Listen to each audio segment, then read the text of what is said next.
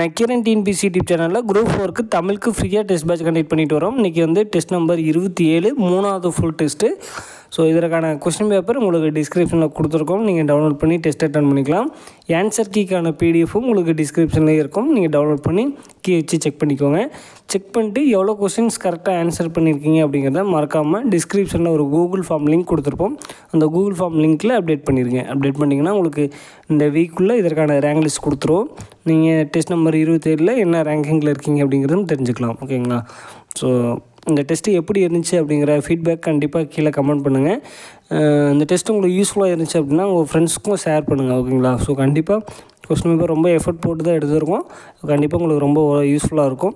So கொஞ்சம் இந்த வீடியோவை உங்கள் ஃப்ரெண்ட்ஸ் நிறைய பேருக்கு ஷேர் பண்ணுங்கள் அதேமாதிரி இந்த டெஸ்ட்டு யூஸ்ஃபுல்லாக இருந்துச்சு அப்படின்னா மறக்காமல் ஒரு லைக் பண்ணிடுங்க நன்றி வணக்கம்.